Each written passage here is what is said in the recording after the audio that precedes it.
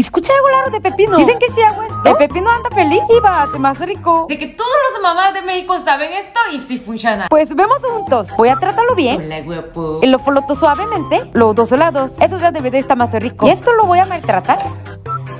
Ahora vamos a ver cuál es más rico. A ver, déjame desanudarle un poquito.